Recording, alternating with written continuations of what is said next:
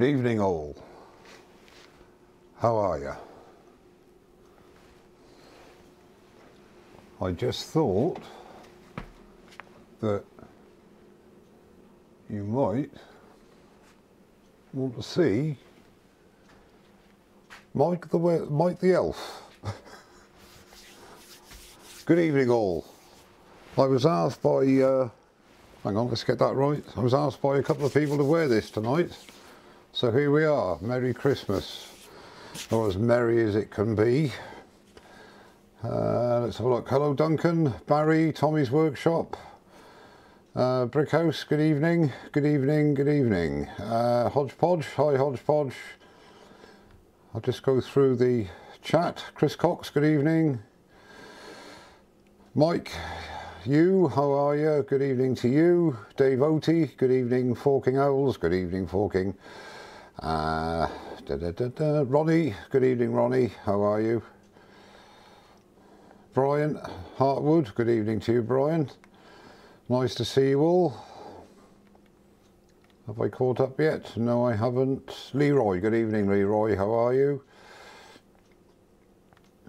Douglas Mungum, good evening, Douglas. Simon, good evening. Fylde Coast Wood Turning. Andy Best, good evening. Adrian Olson, good evening to you, sir. Welcome. Dave Shorten, Paul Morris, Matt364, Karen Browning, Circular Wood by Keith. Wish I could get all mine circular, Keith. Good evening to you. And uh, IDR, good evening to you. Hi Debbie, yes thank you, I'm fine, I hope you're well as well. Hello Rob, how are you mate?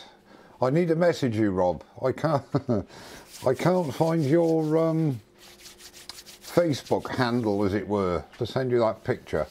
I haven't forgotten, well I had, but I haven't forgotten now. Good evening David, good evening Mark, good evening Reynold, Frederick Day, good evening. Oh, watching on the phone, okay. Hope you've got loads of 4G in your package. Derek from DL, how are you? Brian Stapley, Dave Brooks. Well, do you, do you like the hat, guys? This was supposed to be for my grandson, or for me to wear over Christmas, but of course, my son and daughter-in-law and grandson live in London, and uh, Christmas is now cancelled so I'm spending it with my good lady. Just the two of us. How's everybody else's? Good evening, Mark. How are you? Archie, me, good evening. Sorry it's a bit late today, guys, but um, the reason for it being a bit late, I've been working all day and I got home at about half past six. So uh, if I fall asleep, you know why. Okay, Rob, thanks, mate. Cheers. Evening, Ian. Richard Phelan, good evening.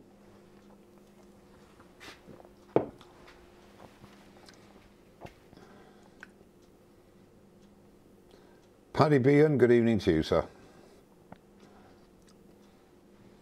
Well, I'm amazed. No one's mentioned the hat. Oh, yes, Steve Jeremiah. Hello, Steve. oh, dear. And you, Alan. Season's greetings to you too. Evening, Julian. Harry McDill, good evening. John M, good evening. but yeah, I think 149. Chuck Smith, is that 149 AM?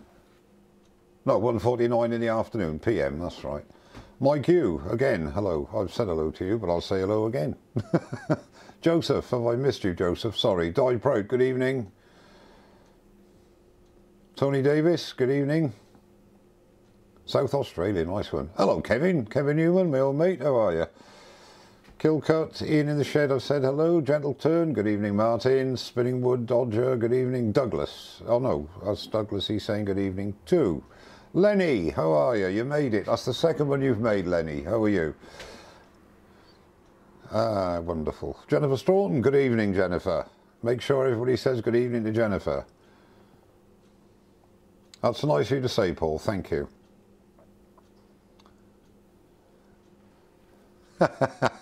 yeah, it's. Um, I was going to wear it to work, but um, I felt I might frighten too many young children. Not that there'd be many young children on the buses today, must be honest.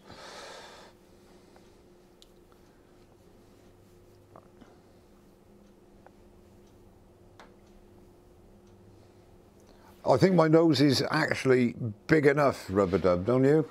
I mean, look at that in, on side. Look, it, that's a fair old conk there, mate. I get more than my fair, fair share of air to breathe, let me tell you. Hello, Mick Stratton. How are you? I must try harder to upset you, Mick. Got a very brief comfort break, and we all know what that means. Don't we?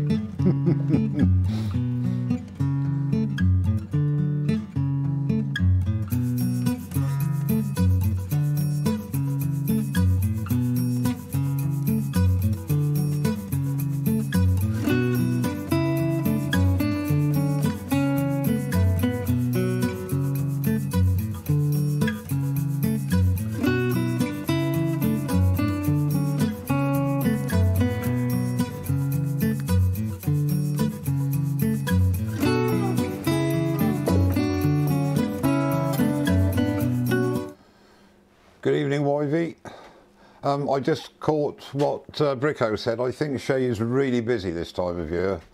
Uh, that's why he's not on, I think. he's put a lot of um, pictures up of stuff he does for craft fairs, Christmas craft fairs. He's been inundated, apparently. Let's put that away.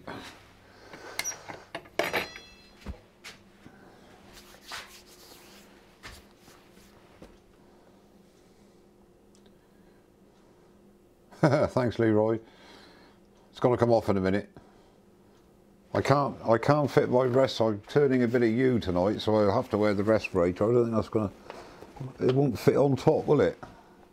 I look a bit like a, a young motorcyclist now.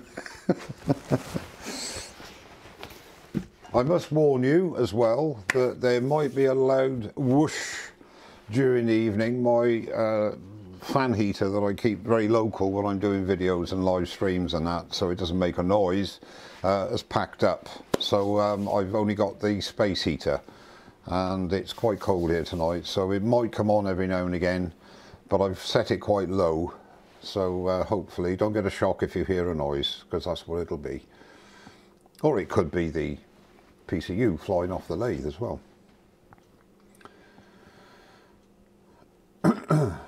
Philip Greenwood, good evening. Yes, I'm fine, thank you. I hope you're well as well, Phil. Okay, five minutes to go before we start. I had an early birthday present for those of you. I did a very, qu uh, very quick impromptu uh, a couple of days ago just to check out my uh, uh, lavalier mic, and because um, I've now gone cordless, which is brilliant. Um, I had an early Christmas present from my wife. Do you want to see what it is? I'll show you all very quickly. I'm not showing off, I'm just chuffed to beans and it, it is a game changer, it really is. There it is, a diamond belt for the Sorby. An early Christmas present. She got it from uh, Mr. Oliver's Wood Turning. And I tell you what, it is, I never would have believed, it is really the business. It really is. Anyway, enough of that. Um, and I got a nice big lump of boxwood off a mate of mine. He dropped it off, and uh, that's nice too. Leona, good evening. How are you? John Brogden, sorry, good evening. yes, John. No, I, vaping off camera is okay, but there might be a whoosh, seriously, because I, I do have to um, stop the icicles forming on the end of my nose. And as I said earlier, the size of my nose, they'd be big icicles. Believe you me, they would be. A few minutes to go.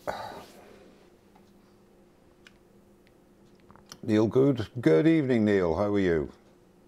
Oliver's wood turning. Good evening, Ed. While Oliver's on, um, you are, look, Mr. Oliver sent me a mug with a diamond belt. That was nice, wasn't it? And actually, I got a tea bag and a couple of chocolate coins. There we go. Pride of place. Oliver's wood turning mug. I've finally got one after all these years or all these months. Thank you, Ed.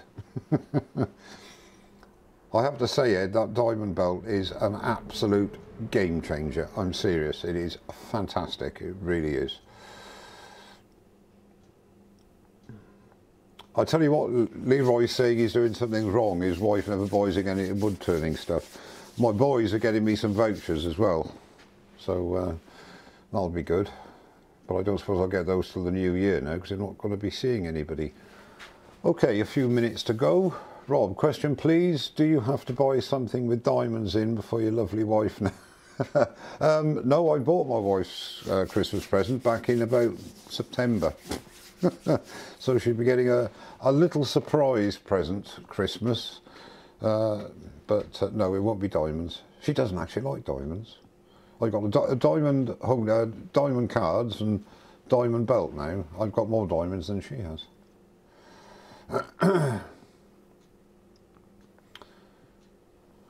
evening, Stuart. Nick Murphy, good evening. You were missed yesterday morning, Mr. Oliver. What grill is the what grilled? What grit is the belt? asked Chuck Smith. Um, according to Mr. Oliver, it's around the 180 grit. It's a slightly different grit system to abrasive, you know, abrasive belts, but it's around the 180 grit. Well, I can tell you, it, it does. I've done. I've given all my. Um, I don't know if actually that camera will do it better. I think. Excuse me. That's that there. Look. That, that's the. Um, that's what you get from the diamond belt. Absolutely superb you know you can look at the skew as well because I just I just run them all over there it gives a really good um, gives a nice mirror finish but more importantly gives a great edge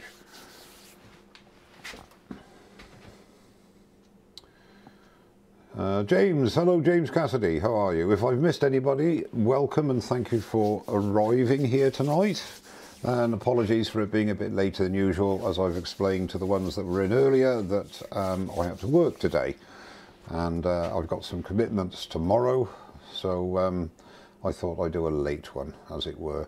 Um, I must also say to you um, next week either Sunday or Monday um, Martin Saban-Smith and myself are doing a collab on YouTube. We're going to have a bit of fun, bit of turn-in fun after Christmas um, Martin's going to be hosting it, I think, and we're going to split screen and we're going to just have a, a bit of a giggle. So as soon as I know all the details, I will post all the links and let people know, as will Martin. So hopefully some of you will be able to join us then as well. As I say, I'm not sure if it's going to be Monday or Sunday. We're not sure yet. I'm going to get this, take this off now, I'm afraid. We don't want to turn with that, do we? Okay, um, it's eight o'clock. Um, I'm going to go to the overhead. Welcome everybody. Um, what I'm going to be doing today is um, a bird's mouth bowl. Um, they come in. they can come in various shapes and sizes. The what, nice thing with the bird's mouth bowl is that's a bit of yew, a little bit there, uh, turned it up a little bit. That's a bit of um, don't know what that is actually. Oh, a bit of cherry. I've done quite a few of these over the years, but I haven't done any for a while and they mainly use that sort of size bit of wood, about three, three inches in diameter.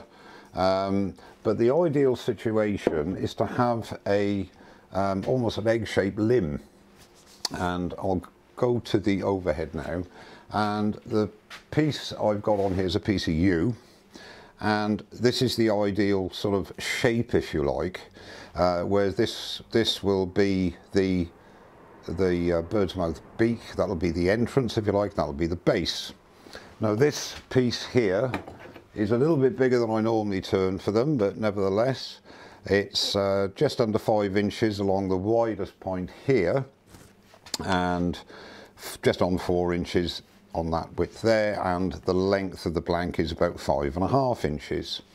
So what I've done is eyeballed the center of this plane here and then I follow that down this side. I followed it down this side here, drew a line and then measured the distance between those two edges there and punched and did the same on the other side. So I've got as near as I can the center of the blank.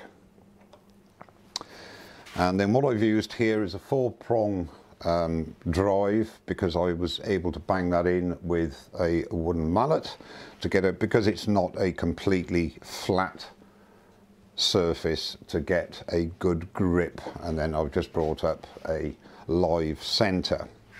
Now normally when I turn this sort of size I start, it's in that, I start turning that at around 2000 revs. The reason being there's quite a bit of air there, obviously. Um, and I'm not saying that, and I'll show my face for this to show I'm genuine, I'm not saying that I'm advocating everybody turn everything at 2000 RPM. If you're not comfortable with doing that, don't do it. Um, you have to take lighter cuts and because when you're turning air, the quicker the speed you can manage, the less chance there is of a catch.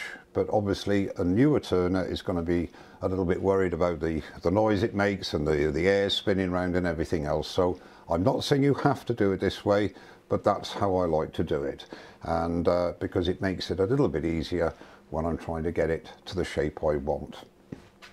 Okay, so what I'm going to start off with is a um, spindle roughing gouge and because it's yew I'm going to be putting my respirator on but we know that you can hear me with that I'll get that piece of okay. So what I'm going to do is to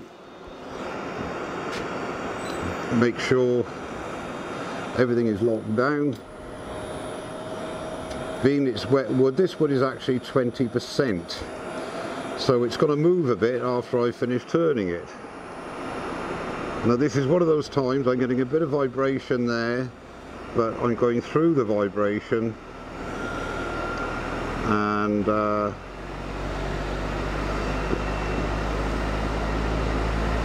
we got about 1800 revs there. And I'm going to start with that. I'm going to be starting with my one and a quarter inch spindle roughing gouge to try and get a a straight surface if you like. Just light light light cuts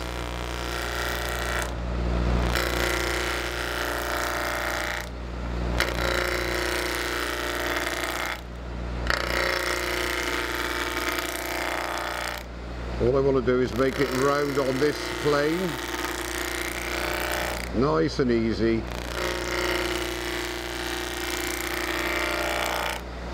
Stop the lathe and bring the tool rest nearer.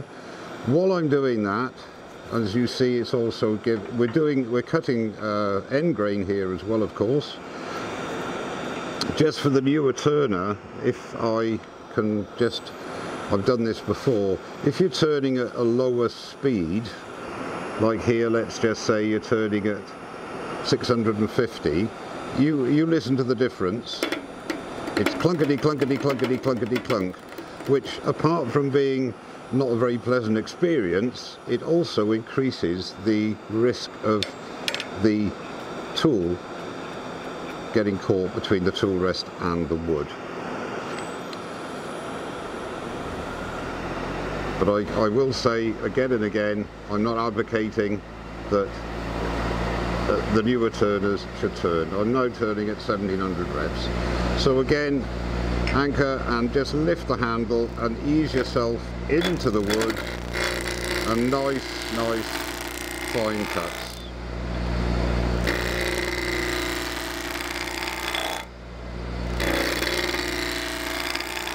Unfortunately with this sort of a turning there's no uh, really quick method because you're cutting so much air. So it gives you an opportunity to have a nice chat. And I'm not going to rush it just because I can't edit it.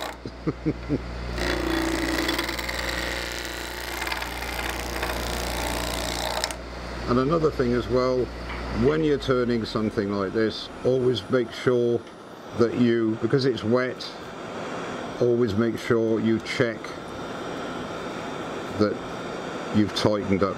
You can see there already that we're starting to get a bit of a profile there and once that and that are flat then I can start to do some shaping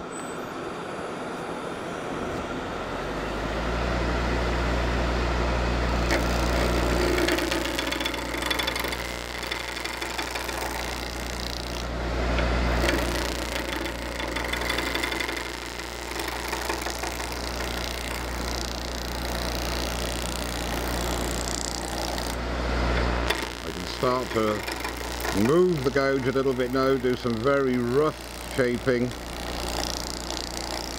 Just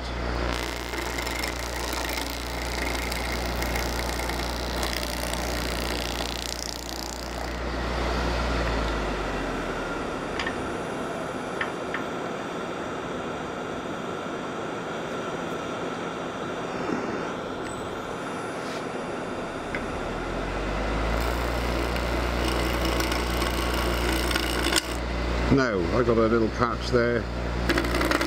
Now the other thing I was going to say to you is that you don't want to go that way here because we want to try and keep the bark on on this area. So when we're doing, I made a mistake there, you want to come in that way so that you minimise the chance of losing your bark.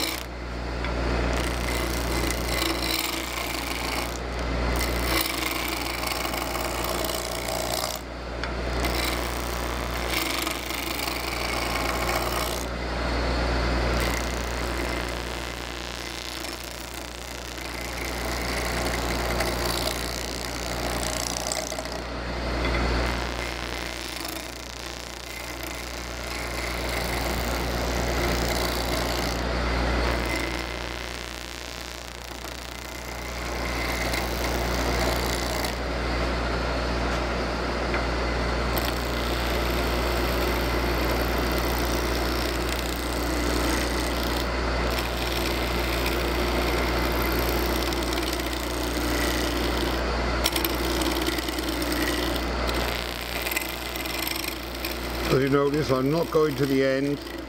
I want to leave that bark alone at the end.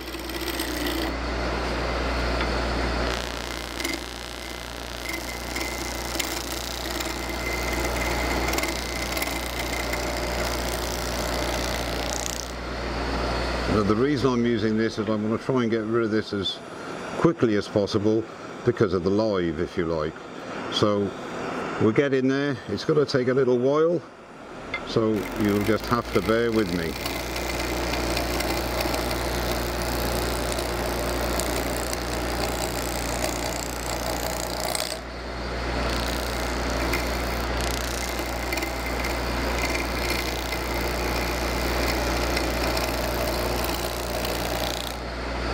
might change now for a minute.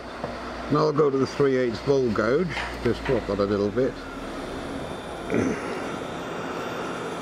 And come in this way.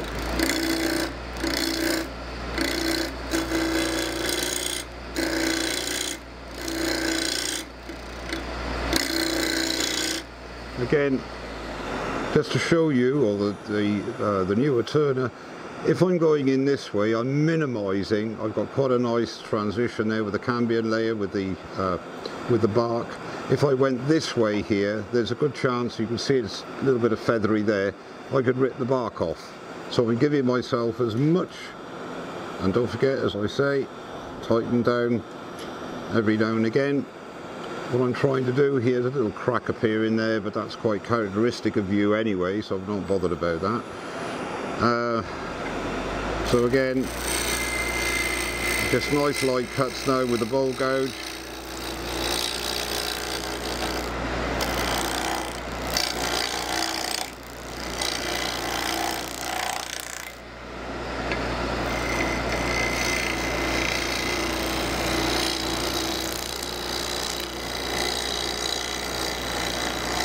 I'm going to be wanting to form a tenon on this end in the end.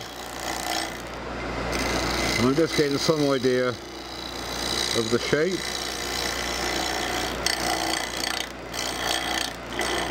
I don't care about the bark on this end because that's all going to be going anyway.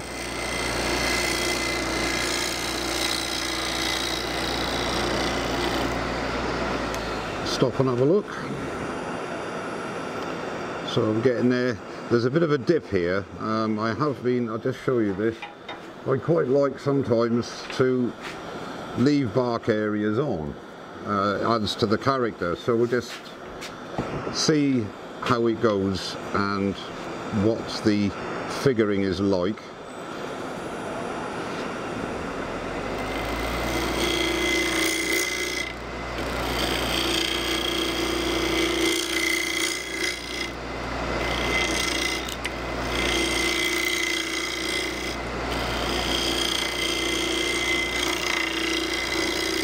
It's going to end up quite a bit smaller than it is now because you've got to get rid of the the bark to make we've got to get rid of this here essentially um, and this here. So it's got to the diameter is going to be quite reduced.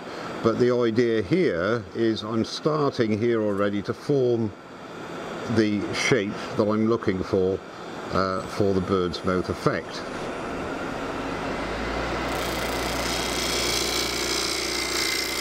Just lifting a handle, twisting slightly, just going in, into the middle, nice and easily. And the other way, as I say, there's quite a bit of work to do yet.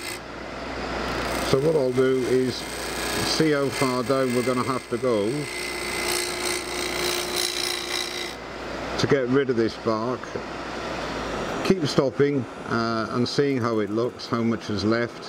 There's still quite a bit there, not so much here. So we can start to come in there a bit. I quite like it with the bark on the outside as well, but we'll see how that looks.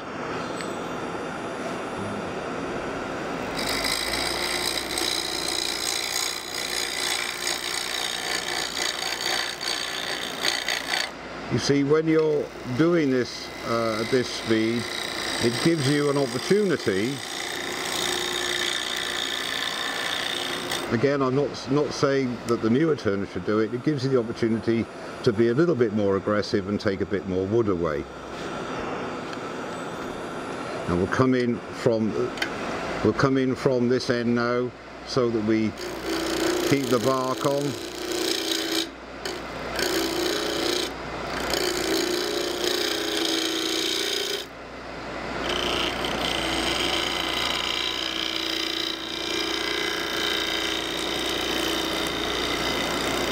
What I'm aiming for here, obviously not at this stage, it's going to be reduced quite a bit, is it's going to be a cove here so that it flares out for the uh, what I call or what is known as the beak part but we've got a fair bit of wood to get rid of before we start considering that.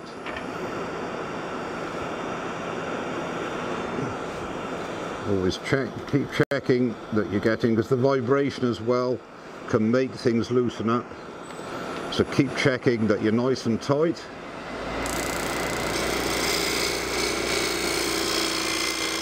Lift the handle, going towards the middle. Keep floating the bevel and going in again from the outside in.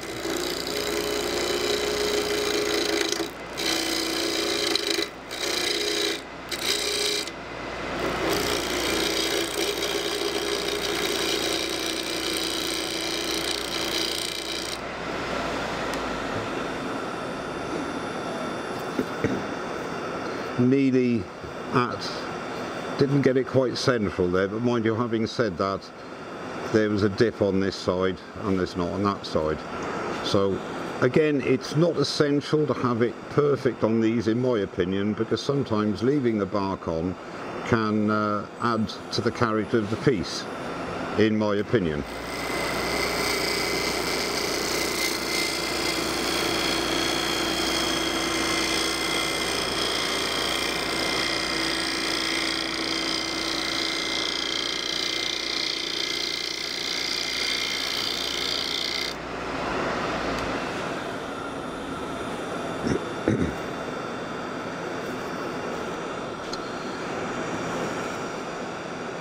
You see the the limbs have been uh, limbs have come out there, there's a bit of cracking, but that is very uh, as the more experienced turners know, that is very characteristic of yew anyway. I'm just looking here now to see how we're looking for um, a tenon.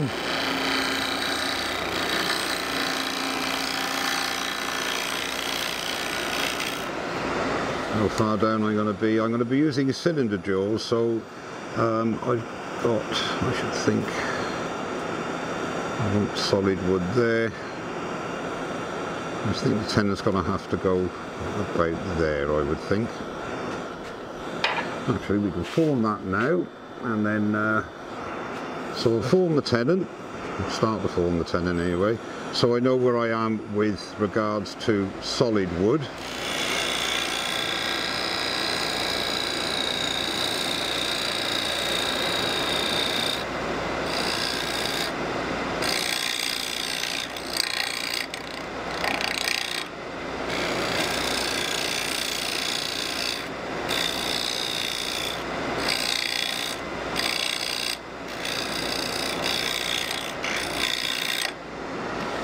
And it'll give me some idea of the overall proportions.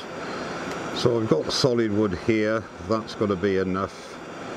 I might go in a little bit. Now what I want to do is to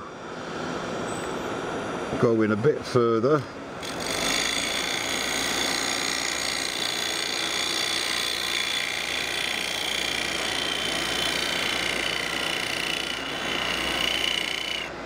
Now I want to leave that shoulder there now that shoulder, the chuck jaws will go up to that shoulder and that shoulder will be what I'll be able to part off from so it won't be right on the face of the jaws.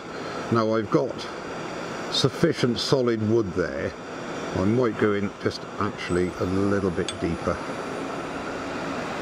No, I think we'll leave it there. So all I've got to do now is get the correct diameter. Look at the old calipers. I'm pretty sure they are set to my yeah they're set to my cylinder jaws so I've got a fair bit to go there well a little bit anyway so just get this uh, tenon down to the right diameter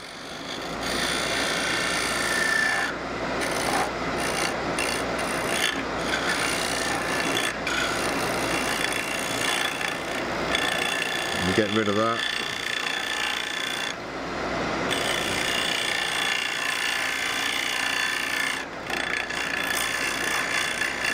But it doesn't matter, normally I'd have to cut that off you see because it would foul on the back of the jaws. But these cylinder jaws are very deep. So and make sure there's a nice square shoulder there. Just check the diameter. Yeah that's fine. So that's got to go on to the jaws and I can actually put them onto the chuck now. We can do that and then we'll know what we're playing with as they say.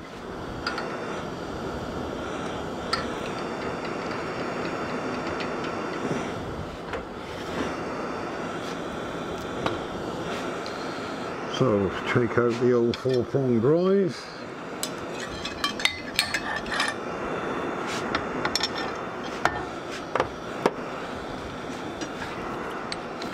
on the old cylinder jaws.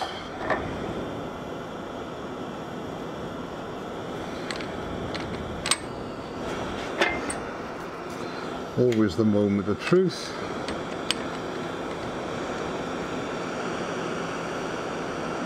And as you see I've got that little shoulder there. Does the camera pick that up? What's happened?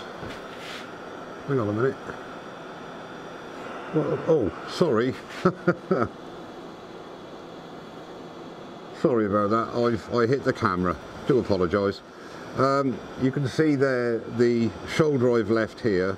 So the front of the jaws goes snugly up against there. Tighten that down. Just check it see what it's looking like. That's looking pretty good.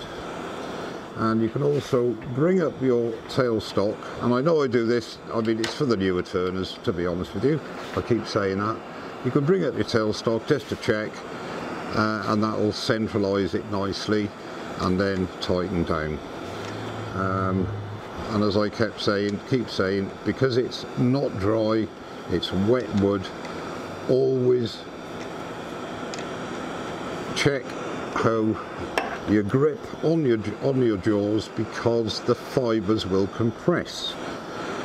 On dry wood not as much but on wet wood they will compress. So always check now I can keep the um, tailstock up for the moment now I know exactly what dimensions I'm working towards and obviously the diameter is going to reduce quite a bit I think we'll take a little break there. Any questions? Just for a minute. I'll have a quick uh, vape. Sorry about knocking the camera, that was really annoying.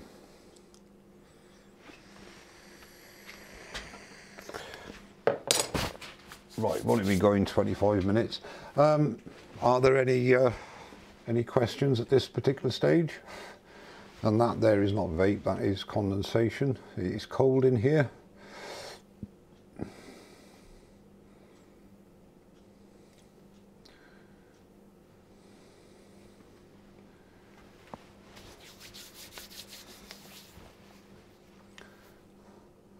Just a basic username, wood turning.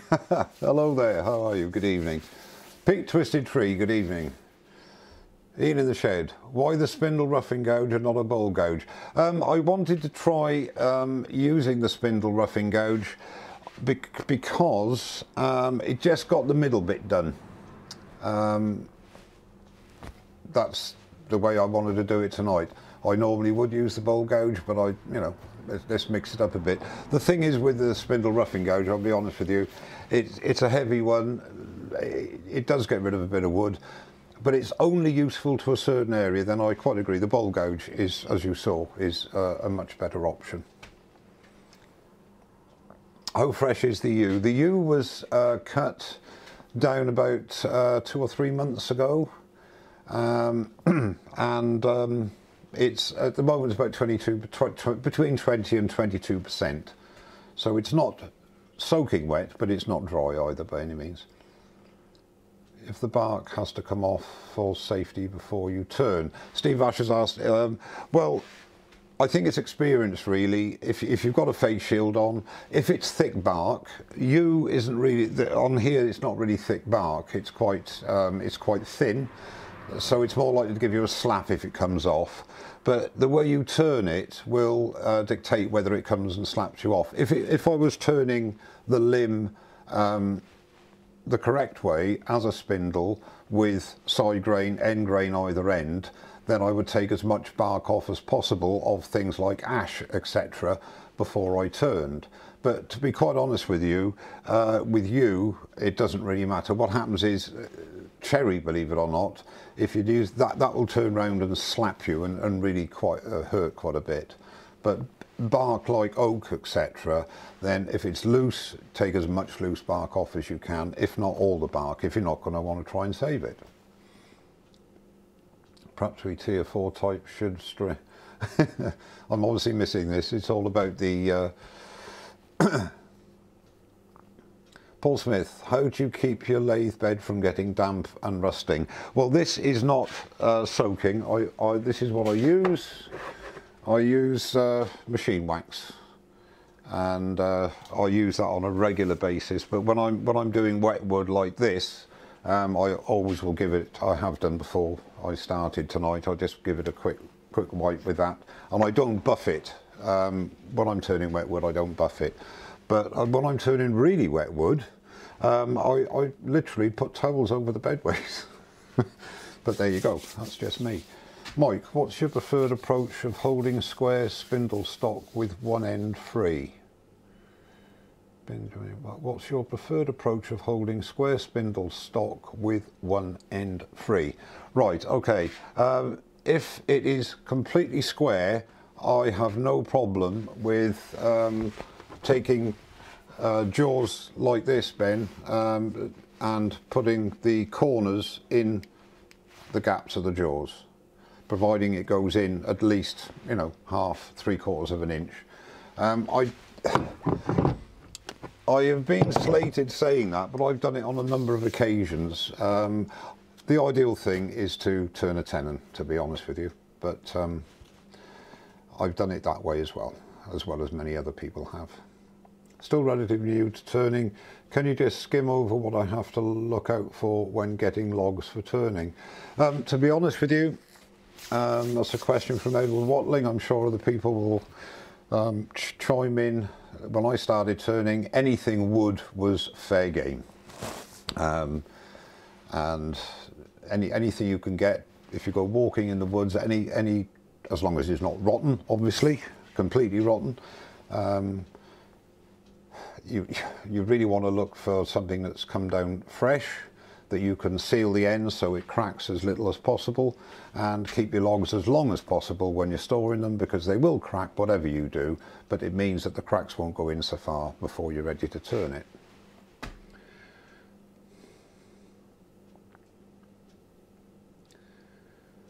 Right, okay, um, we'll get back on and as I say, uh, I was asked, I forgot who asked me actually about using the spindle roughing gouge again for the newer turners. Normally I would, I wanted to, I wanted to try the, the spindle roughing gouge on this because there was a lot of air and I was cutting, um, you're cutting end grain obviously with air and I just wanted to get it not so much flat but just get rid of the bulk of that wood so I could start to shape it. I did a very, very slight shape with the, with the spindle roughing gouge and then turn to the bowl gouge, uh, to the to the bowl.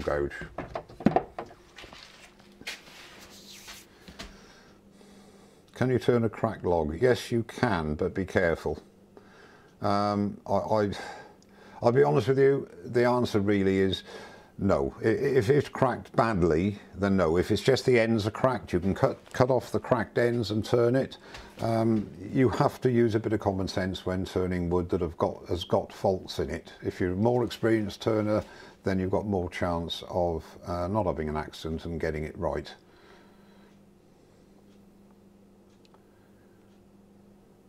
Is there any wood, Paul Morris, is there any wood you don't turn and don't like turning? Um, I don't like turning um, fir. I turned a fir bowl on a live a while ago for my son, one of my sons, stepson. Um, he's got it now, he's happy with it, but it was a pig to turn. Um, I don't like turning um, willow. I haven't actually turned a whole project of willow. I started turning willow and I gave up. Um, the, life's too short. Um, I like turning woods I like to turn. If you can smack it without breaking it, it doesn't spray much water. You need a wiper on your face shield. It's oh yeah, I'm not saying it's not good to turn, but I, I, I don't I don't like it. I don't like being soaked. I'm afraid.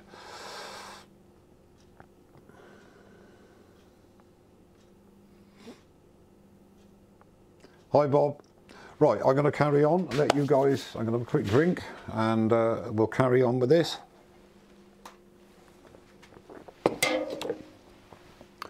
Right, go to the overhead. Put my respirator on.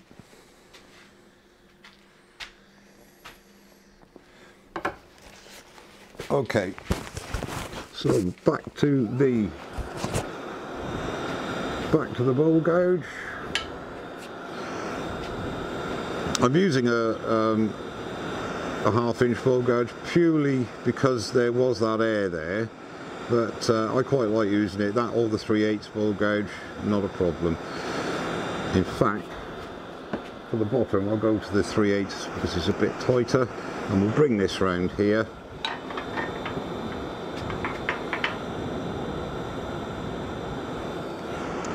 Just you can see there I can work round to that. But there's a fair bit to go yet so we could use the 3 8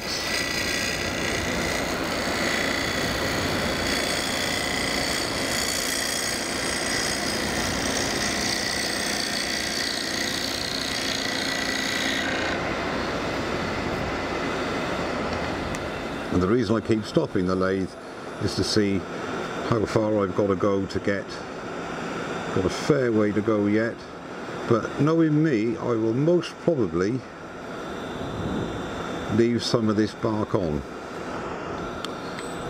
So there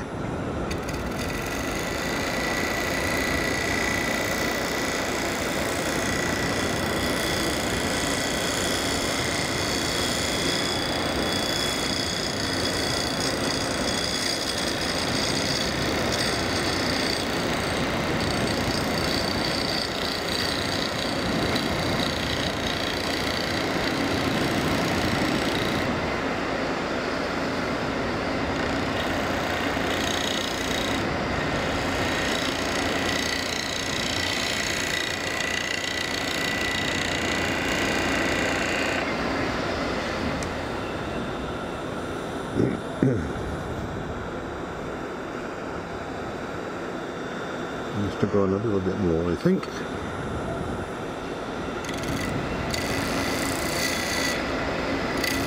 I'm just doing this to see how much we've got to do to take to get this to solid wood. It's going to be too it's going to be too small for my liking you see so we're going to have to improvise I think.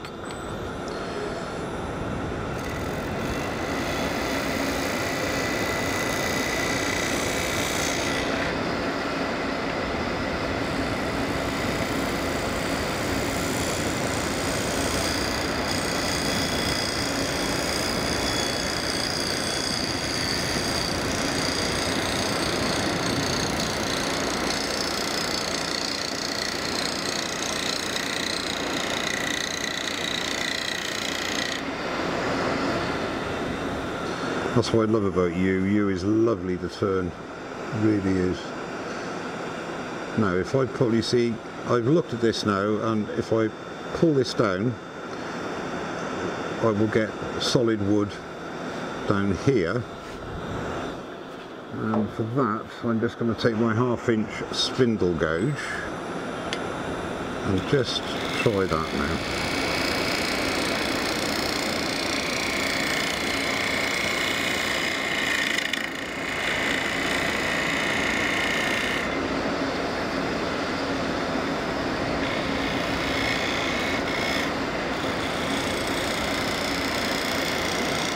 It's very light cuts now. Nice and easy.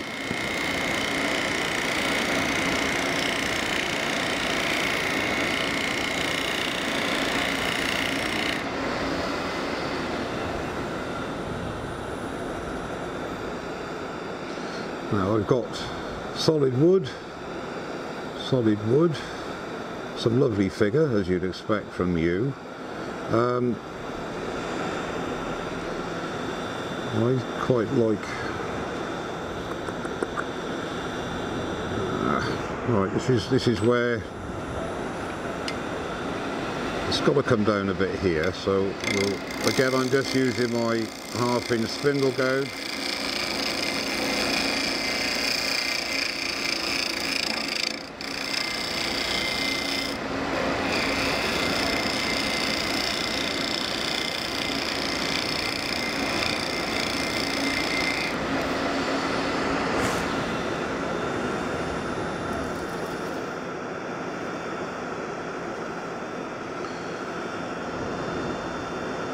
it's quite it's a bit big.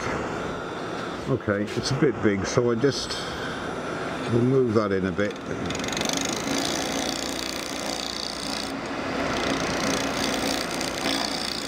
Working your way in to keep the bark on.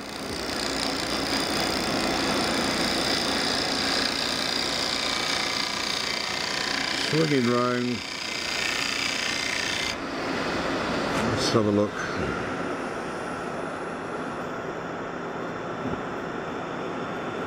just a tiny bit more I think. And what I'm going to do now is to just get do a sort of a cove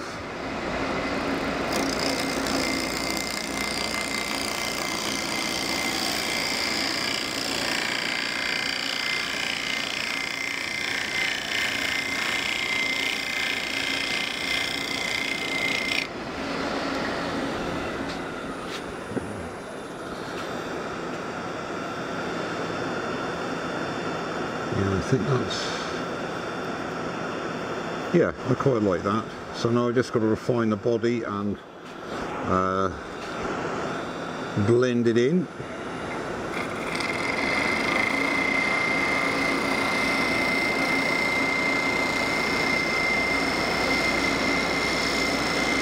Just picking up the cut nice and steadily,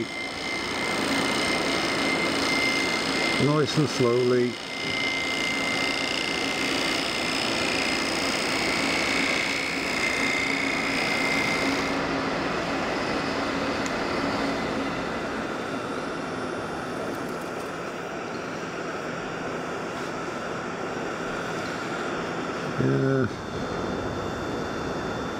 Got to come in. You see, the thing is, if you come in too much here, make that cove too deep, um, I don't know, let's see.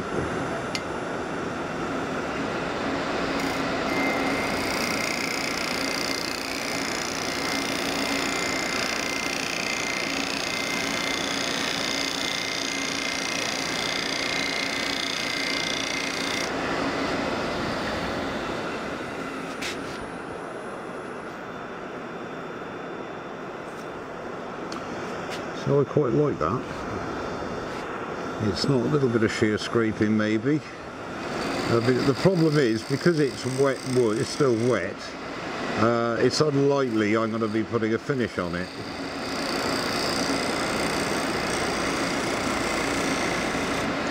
Because um, it's got to move a bit. I will put some sanding sealer on it. I'm going to keep the bark here. I like that. A lot of people won't like that, but I do. And it's my bull, so I'm going to do what I want to do. Just shear scraping with the bottom wing now. Just to get rid of a few tool marks. But because there is bark on it, it is, it is a little bit um, bumpy because you're not getting a, uh, a really smooth cut because you've got still got some air there. But um, just a little bit more shear scraping. Very gently.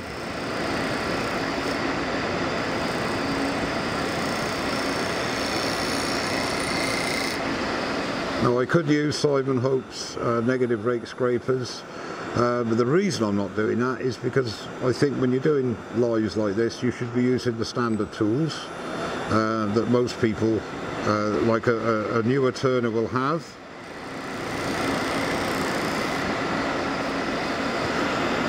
It's just a little bit lumpy there.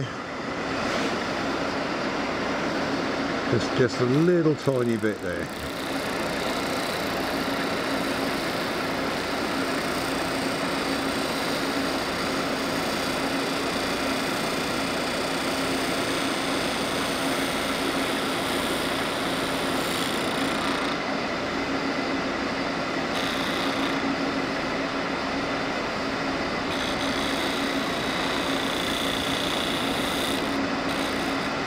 Pick up the cut and then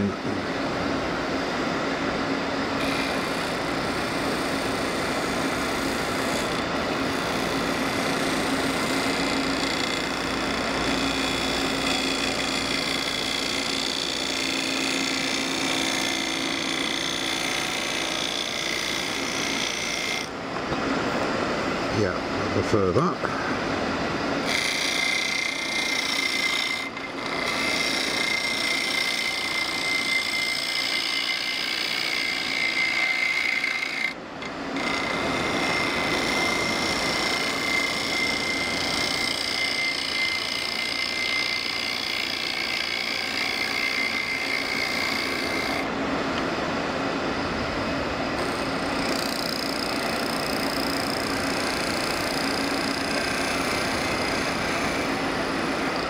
Sorry I'm not talking much at the moment because I'm concentrating because I'm not actually sure what shape I'm going to end up with. But I think I'm going to keep that. I quite like that. Yeah we've got some cracking coming here as well. A little bit of shear scraping just to smooth it off a bit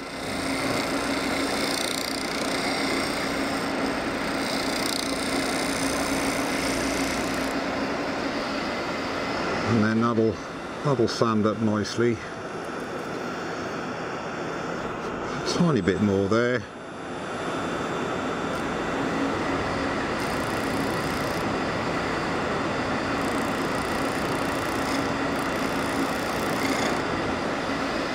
And I think we have it. So that's the basic, well it's got to come in a bit more there. Hang on I'll just get a fresh edge for that actually I just want to make that, that uh, cove a little bit more pronounced. So pick up the cat, swing him in, twist, twist, twist, twist. There we go.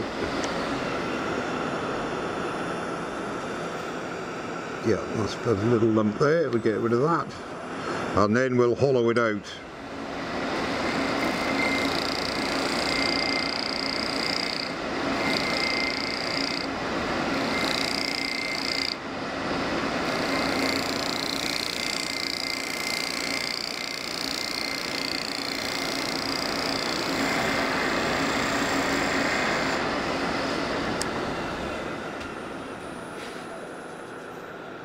Yes, I quite like that. I'm going to leave it there for now. I've just got to do a little bit of the top here and then I promise you I'll start the hollow.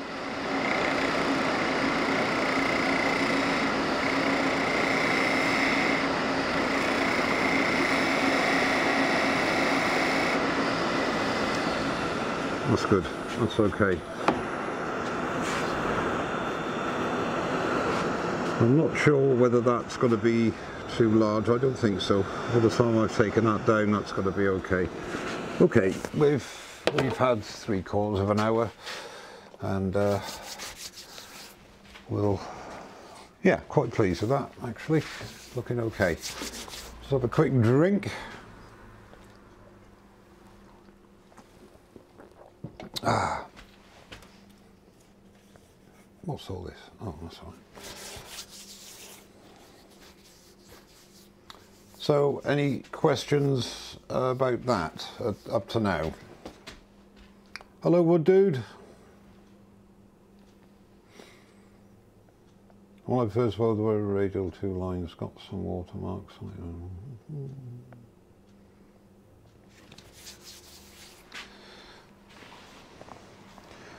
Right, gonna have a little comfort break. And we all know what that means, don't we?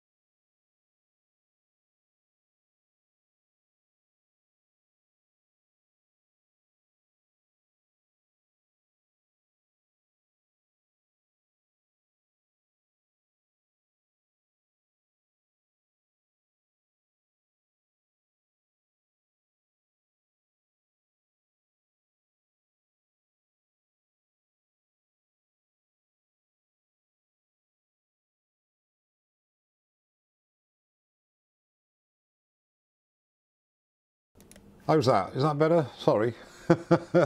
yes. Uh, it's back now.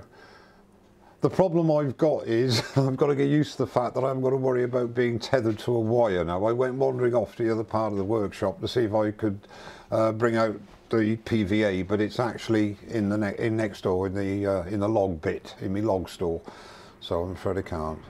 Yeah, so there is sound. I've got sound dead. Sorry, mate. It's here. Look, I can see myself. yeah, sorry about that. What, there's still no sound? Oh yeah, there is now. That's good. Okay, thank you. Yeah, no, what it is, I've got this new mic and I've got no wires, obviously, and uh, I went wandering off and I, when I had a um, comfort breaker, we know what I was doing there. I won't do it, but I was using that. Um, I turned the sound off, so you couldn't hear me sucking away at my vape. Mike, if you didn't keep drinking all that Diet Coke, you wouldn't need all these comfort breaks. Yes, I know he's vaping. Yeah, that's good. Okay, Ben. uh, both of them, actually. Right, okay. Ed's getting annoyed because I'm talking and not turning. Only kidding, Ed. Um, I could have put my Diet Coke in my uh, Oliver's wood turning mug, couldn't I? There's too much dust in it. Okay, let's go to there. so that's as far as we've got at the moment. And um, the, the barking, the bark areas here I quite like and I'm going to keep them on. And so now we can remove the tailstock and also get rid of the live center because we don't want to stick our elbows. And uh, that one there yeah. Okay that one there for a minute. So what I'm going to do now is to hollow him out. Now what we've got to decide here is I don't know if I can get that to zoom. Hang on too many cameras now. Right, what you've got to decide here is uh, how thick you want the lip, as it were, of the bird's beak. Now, I'll start in the middle, obviously, and work out, and come to, I should think about that thickness. Now, when I know if I'm back hollowing, that's okay while I'm on the hard wood, but if I'm on the bark, I must always go in, otherwise I'm going to lift the bark off. It started to lift there, but that's actually not from me. That's something else, but most of that will go anyway. If the bark does come off, it's not really a problem because you can still get the same effect, but it's nice to keep it on if you can. So, respirator on. And just have a quick look, 3 8 bowl gouge I think, just to begin with. We can turn the speed down a bit now if you want, to about, it's about 1500 revs. And just, no, something I forgot to do, and I'll be told off because I said always check that your jaws are tight because it's wet wood. I didn't do that. There's only a little bit, but there's a bit there. Because as I say, you're compressing the fibres. Okay. Let's put a, get the fresh edge there. And just and don't forget to lock your banjo down as well. That needs to come up just a little bit. And we always turn the lathe off, don't we, everybody, before we move anything.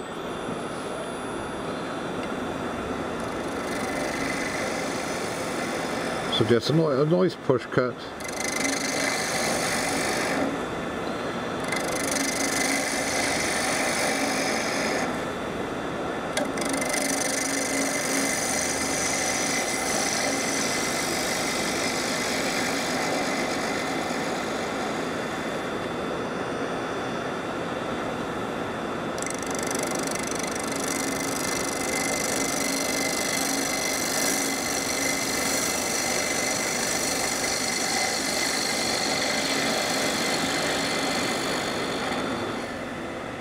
don't forget, be mindful as well that you've got this concave neck. So when you're hollowing you've got to get down to here and then you can start to hollow properly but be very mindful as you're going in here you could very well cut it off here. And as they say don't ask me how I know that That's the best one or that that's the best one. I think that's the best one for now and it'll do for now. So again going in very gently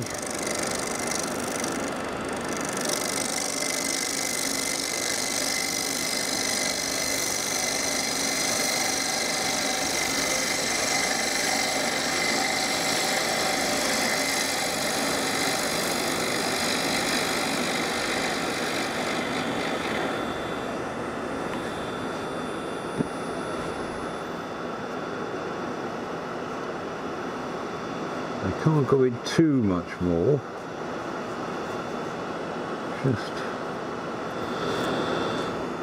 just a little bit I think.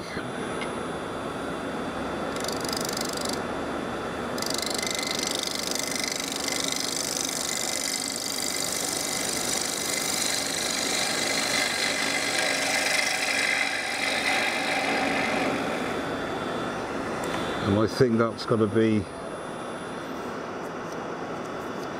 yeah that's got to be it for there I think. So now we think now we're talking of hollowing so what I'll do there now is just make a little this isn't necessary but I like to do that make a little indent here. And then use my 3 8 spindle gouge to just bore a hole for the depth I'm looking at which is going to be about there you want to be smack on centre for this.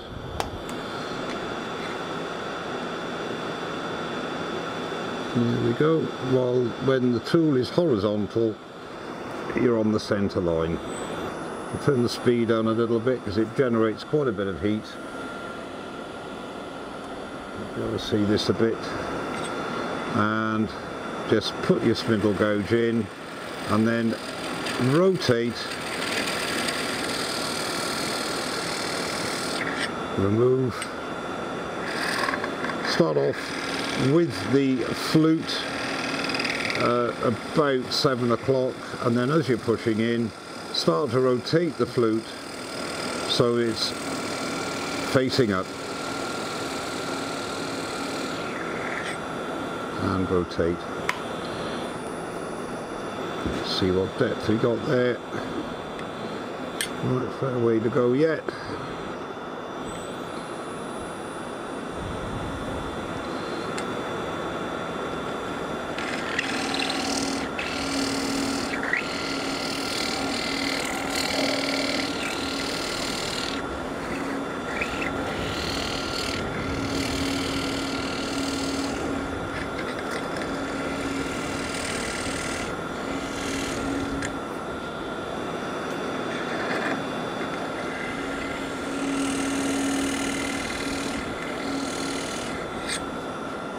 that's about it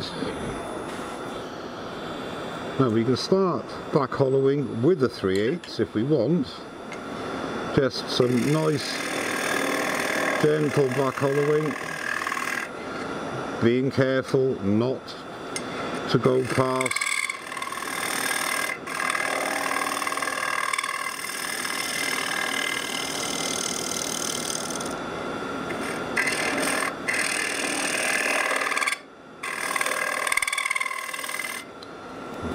edge on there. Right, okay, I'm going to go to my preferred method, and you all know what that is. It's my little mini hollower from Simon Hope, and this will make light work of it.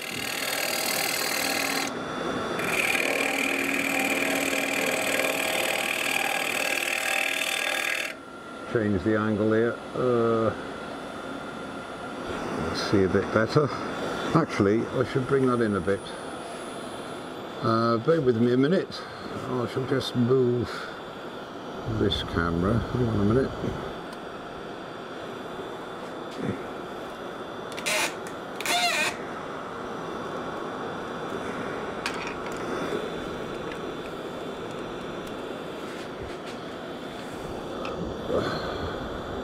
Working on the fly here.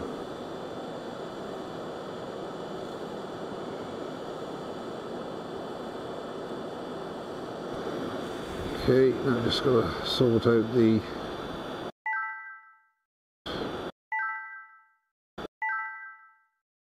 That's better.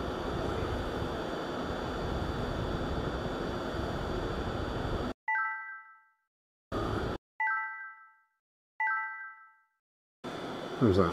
That's okay. Right, carry on. Carry on, Macduff.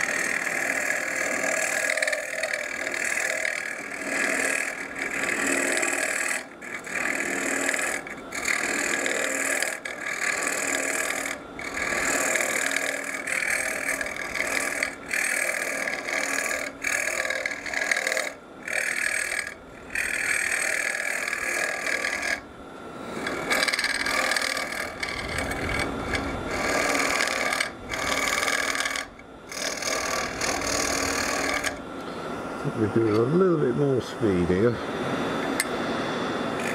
Just gone up to 1500 revs now. That's better.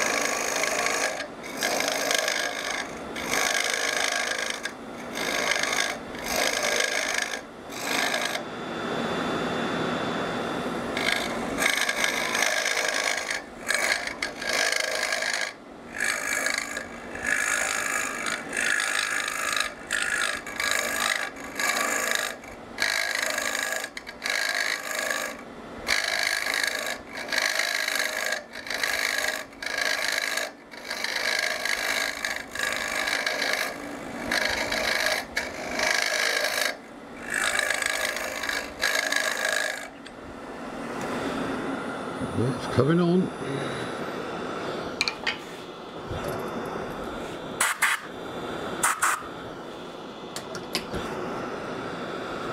We've got a few cracks appearing here.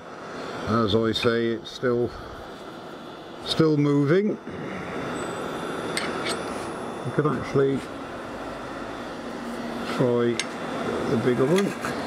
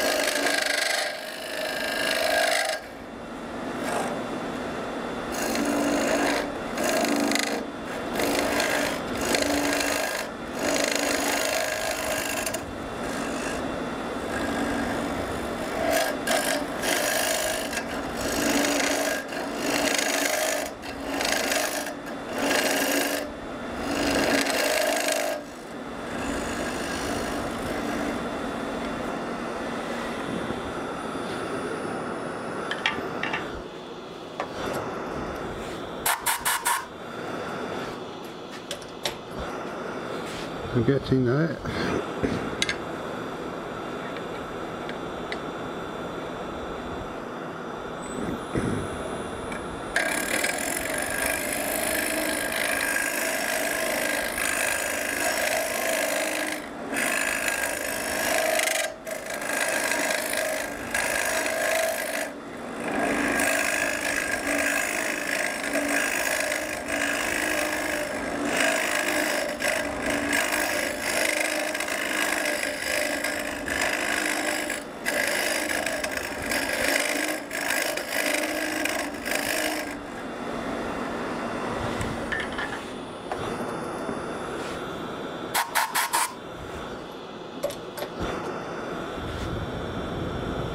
About there now. Not far to go.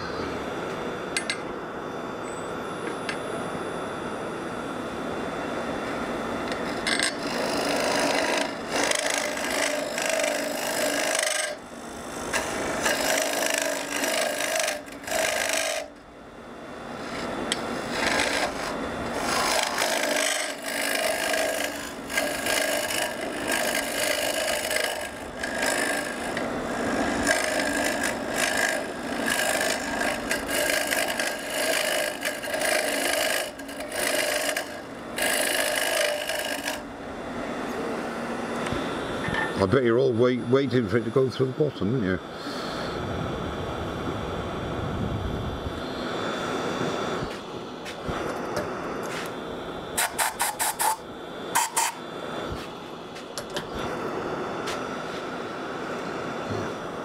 Not far to go now. Just want to make that a little bit. Drop this down a bit just make that a little bit smoother.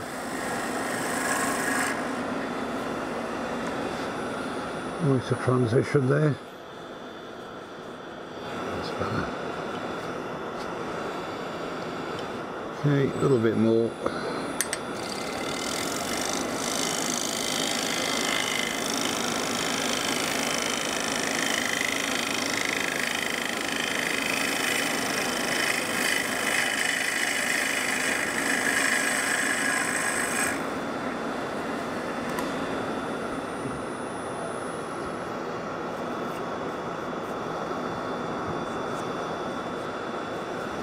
round that off ever so slightly.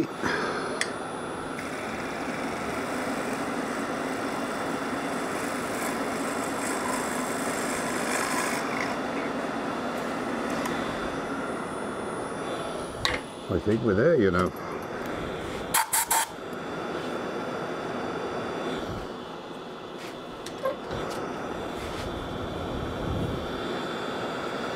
Yeah, it's going in nicely there. Could just do with a little a little fiddle. Is that going to be too big? No, that'll do. No, that's no good. Bear with me, ladies and gentlemen. We shall go in with that again, I think.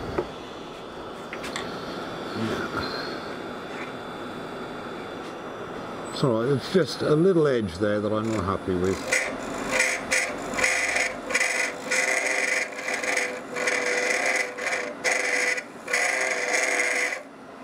That's better, that's rounded it. That's better, that's better. Okay, so basically that is the bird's mouth bowl shape. So that's how it's looking now.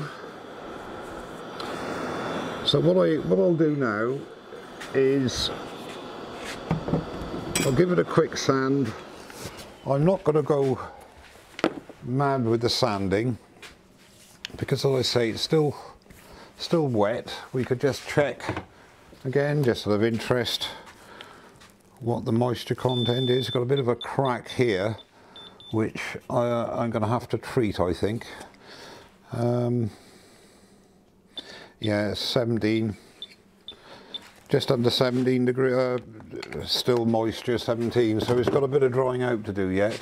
Now I don't want to waste this uh, and have it ruined on me but what I'll do I'll give it a quick sand and uh, for the newer turners just to show them what it looks like uh, because yew is such a lovely wood. So I'll give it a quick a quick blast just to get a fairly nice surface on it so that we can um, just put some sanding sealer on so it'll just bring out the the beauty of not me but the beauty of you. That was pathetic wasn't it really? Okay and uh, we'll start it off at 180 Again, excuse the extractor. I'll just give it a, a quick go around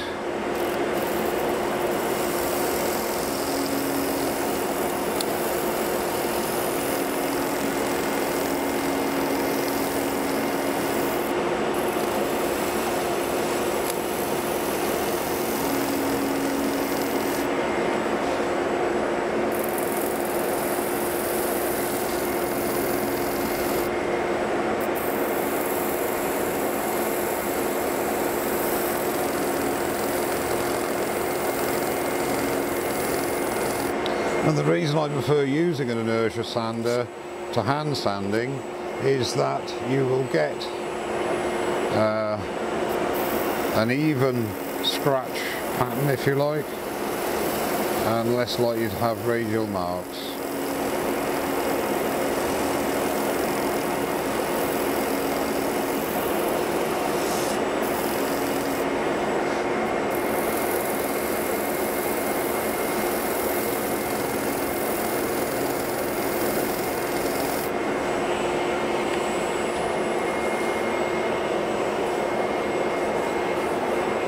A lot to do yet on this, but as I say, it's got to move quite a bit. But I think one thing I would say to you is when you're sanding, again, I keep, keep mentioning the newer Turner, but um, when you're sanding this sort of an area, you don't want your fingers in there. So what I use is a, a piece of dowel let's go back again. What I use is a what's happened here? Sorry about this. My cameras are all a pot uh, bear with me ladies and gentlemen. There we go. That's what I wanted. Um, is a piece of dowel and on the end of the dowel here is a piece of loop adhesive loop. You buy it on eBay, uh, hook and loop Velcro, and I wrap that around there, and then of course my sanding pads will fit on there like so. And if I lift that a little bit more, like that, as you can see, I can do my sanding with my fingers well out of the line of fire I mean, normally I'd use the um, inertia sander with the extension arm, but obviously the entrance to this little chappy isn't big enough for that. So I could do all the sanding with my fingers well away. And even on the, uh, uh, the other piece up here, the, this bit here, that's a bit big for there. So yes, you guessed it. I've got a smaller piece of dowel. And again I could just wrap that round there. And I don't have to worry about the edges. And I can do my sanding in perfect safety. Um, and I've got a few others I won't bore you with even smaller for smaller things and that just keeps your fingers out of the way. Now the thing is with this, that as I say, it's got a few cracks on it. I want to let it dry out. I will finish it and I'll show it to you. I'll just put a bit of sanding sealer on there so that you can see that lovely grain. I'm not going to finish it off tonight, but I will not finish it off in another live because I don't think there'll be enough enough um, content. But even the bark will darken nicely and it'll look a treat when it's finished. So I've got a bit of filling to do, etc. on this, and I'm not going to waste it, so uh, it's already cracking quite badly there, so I need to do some work on that. Well, that's basically the methodology, if you like, of a bird's mouth bowl. I'll take it out of the chuck. No, I won't. I'll take the chuck off and I'll hold it up for you so you can see what the shape is like.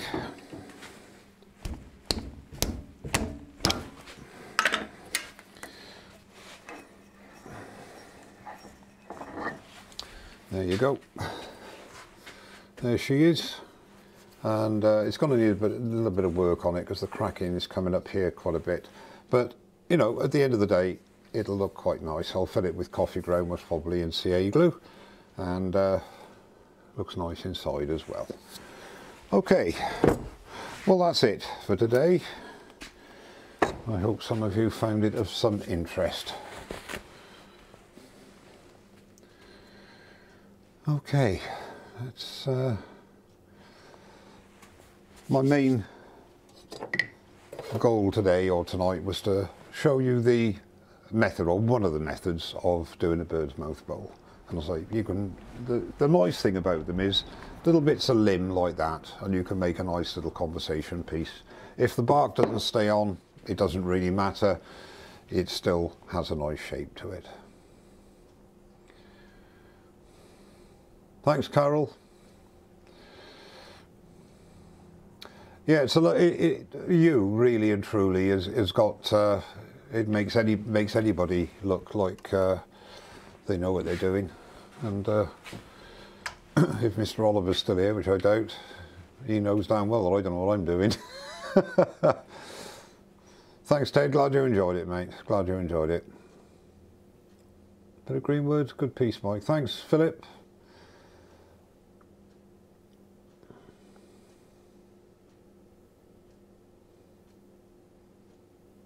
Oh, get the hat on again. Yeah, sorry, I didn't get my hat on. Hang on. I'll, uh, excuse me, I'll just go out a shot for a minute. A lot of you didn't see my hat. There we go. Let me come up again. We're going to come up like this again. If I there's, there, there's my Christmas elf hat. For those of you that didn't see it, um, thanks, Pete. Appreciate it, mate. You're a diamond. Thank you very much. What's the matter, Ed? What are you laughing at, mate?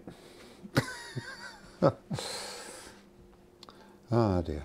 Yeah, it, it's uh, it's the ears. It's the ears. Oh, thank you, Brian. You're very kind. That's very kind of you. Thank you. Um, I'll mention it again that um, next Sunday or Monday, most probably be Monday, but I'll let you know, and so will Martin Saban Smith. We're going to have a, a, a dual live demo, have a bit of a laugh. I'm not quite sure what we're going to be doing, but uh, I'm sure we'll get up to no good, whatever.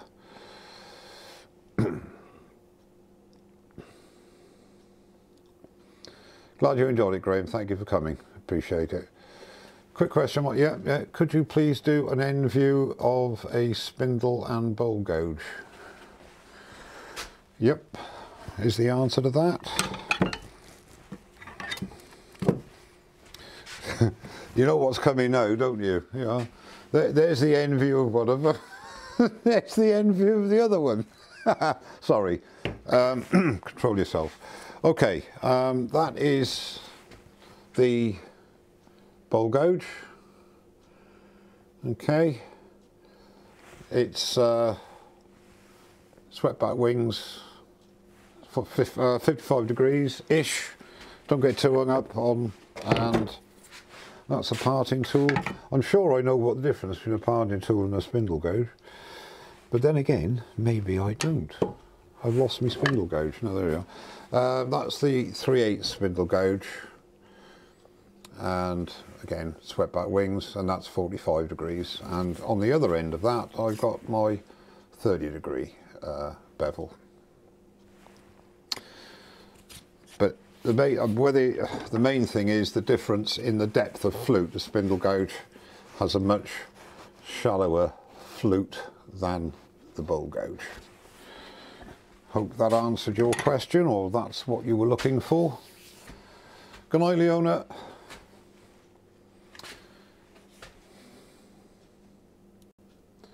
Thank you, Brian. That's very kind of you. Appreciate it. And Adrian Olson, thank you very much indeed. I do appreciate it. Take that hat off. Nothing wrong with my hat, mate. I like my hat.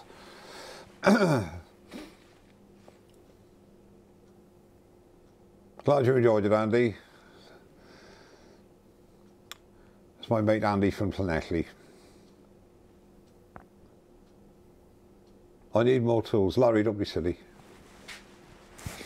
I've sold a lot of tools. I don't want to take this out the chuck because obviously um, I got a bit of work to do on it. But for those of you that didn't see it, it's got to look quite nice when it's done, when it's finished. But you see there, look, can you see how it's cracked there? That's going to need a bit of TLC. But uh, nevertheless, oh Roger, that is extremely kind of you. Thank you, sir. Appreciate it.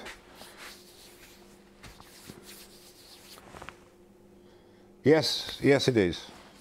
Yes they are. Ooh, my pride and joy. Robust tool rests. I will be doing a little review on them uh, in the new year. Merry Christmas, Muriel. yeah, I've given her, I'm going to give her those chocolates, Ed. Don't tell her. Don't tell her you gave them to me. Thank you, username. Appreciate it. A Merry Christmas to you. Thank you very much indeed. I would like, one day I'd like to finish a piece that I start, but I'm not going to ruin it and I don't want to go on too long tonight because um, I'm tired.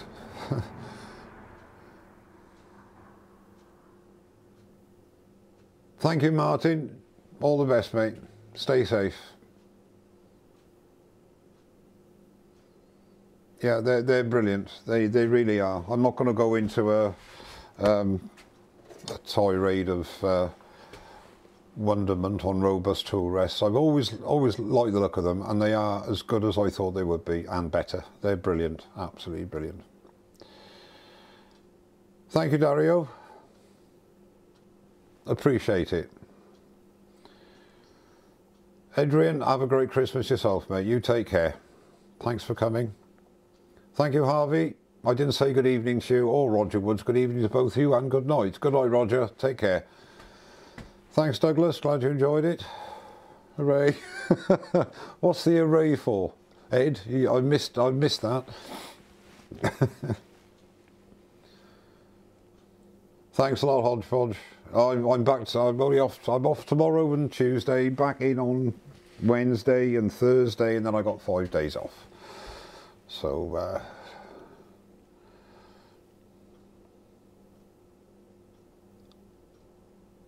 that's not you don't I don't call that good luck, Bob. I call that misfor bad fortune, mate.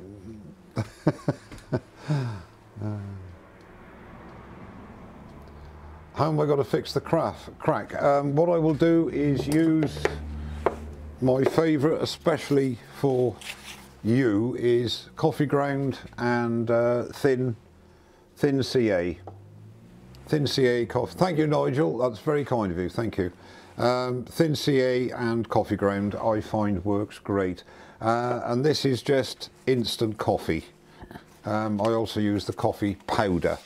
Just the cheap stuff from any supermarket. And uh, I find that works great.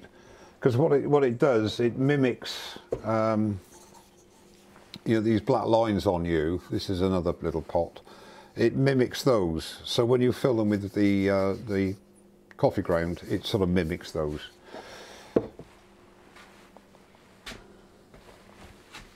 Thank you, Douglas. Take care. Good night, Kevin. All the best, mate. Take care. Thank you. That's all right, Bob. You didn't miss much, mate. I, I, I got that far. There we are, look. Uh, just turned that out of a, a long if uh, it'll be up on YouTube, you can watch it. It's not that. Uh, it's just the basically the methodology of doing a bird's mouth bowl, the orientation of the uh, the log, etc.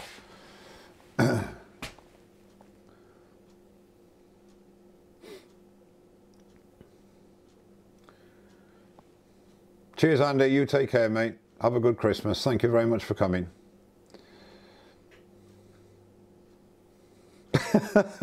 Merry COVID tearful Christmas. Ed, I don't think it matters what. Uh, can I take the, Can I take this off now, please? Good night, Martin. Take care. Goodbye, Blair. Take care, mate. Thanks very much. Merry Christmas to you. Glad you enjoyed it, Grant. Thanks for coming, mate. Appreciate it. Thanks, Steve. You take care. Merry Christmas. Phil Boulder. Thanks very much. I didn't see you come in, Phil. Sorry about that. Hope you managed to get some uh, shut eye while I was turning. Can we see the rear end? Joke, can we see the rear... Do you mean the rear end of what? Do you mean of my hat or of that? It hasn't been parted off. I might be missing the joke there. Sorry about that. Do you know what? Seeing it's Christmas. No, I'm not going to. Cheers, Simon. Take care, mate. Thanks, Doug. Merry Christmas, Di. You take care, mate, and see you in the new year, hopefully. Well, maybe even see you this side of Christmas. All the best, Doug. Take care. Merry Christmas to you, mate. Right, I'm just going, I'm not leaving, I'm just going to, um, hello Maggie. Have a wonderful Christmas yourself, my dear. Merry Christmas, Bob. Thanks for popping in. Appreciate it. I'm just going to go out a picture. And nobody, nobody knows what I'm doing, do they?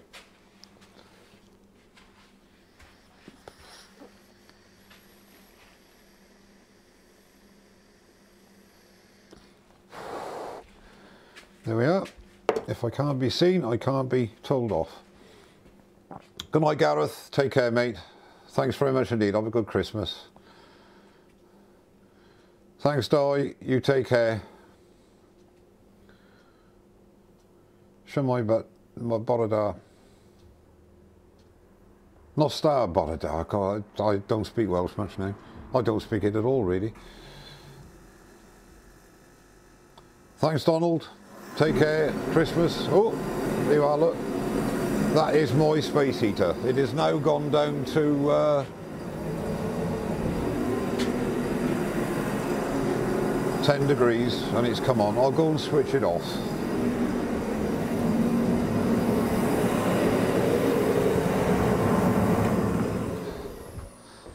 It's a bit loud, my old space heater.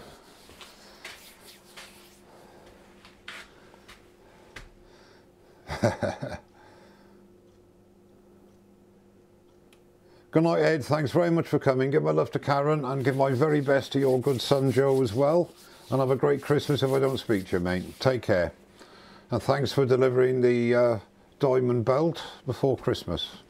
I'll sharpen all my tools to nothing. Take care, mate.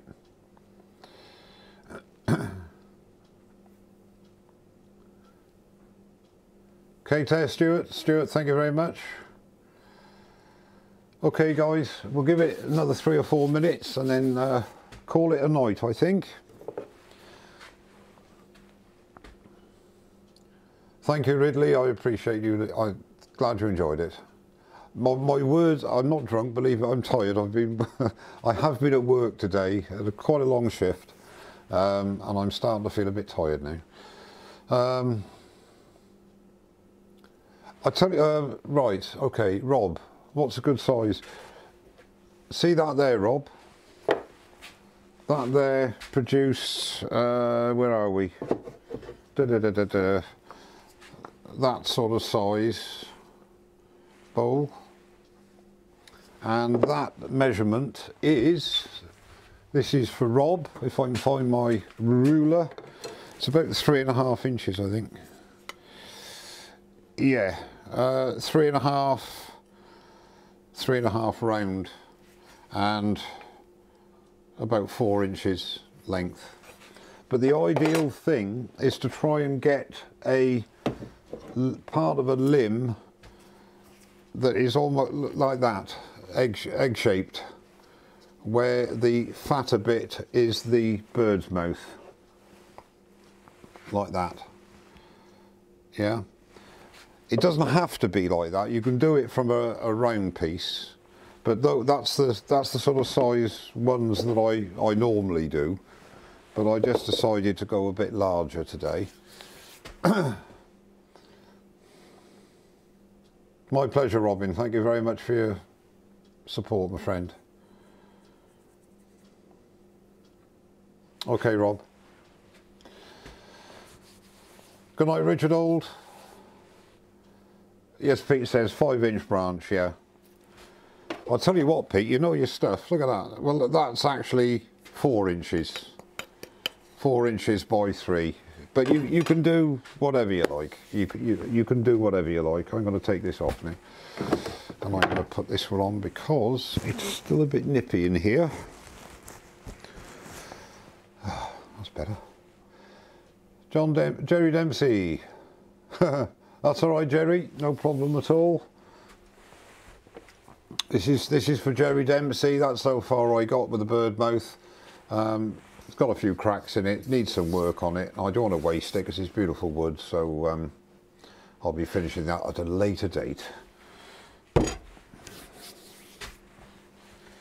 Dave Roth. Hello, Dave. Merry Christmas, Dave. Uh, give my love to Fee. Yeah, we'll chat before Christmas. Yeah, hopefully. You take care, my friend, and thanks for popping in. Sorry I didn't welcome you. I didn't know you were here. If I'd known, I'd have shut down immediately.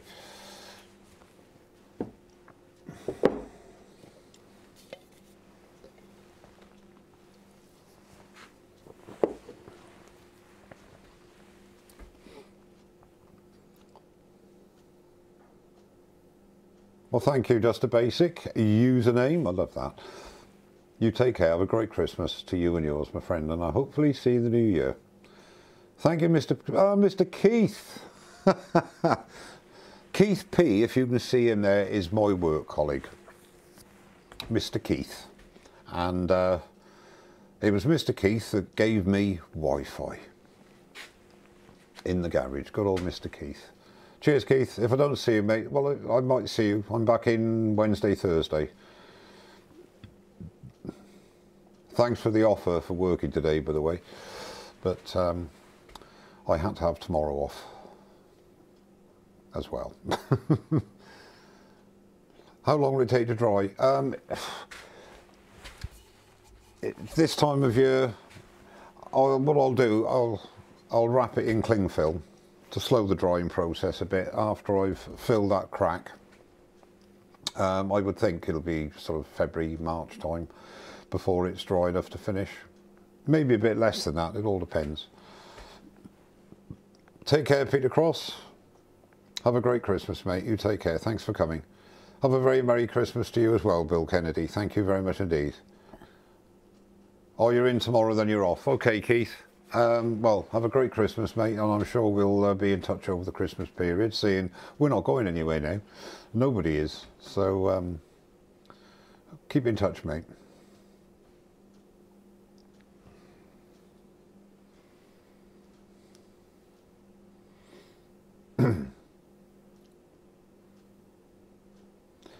right, I think that's it, guys. Well, thank you very, very much indeed. Um, I'll make one more plug. Next Sunday or Monday, um, all being well, Martin and I will be doing a collaboration.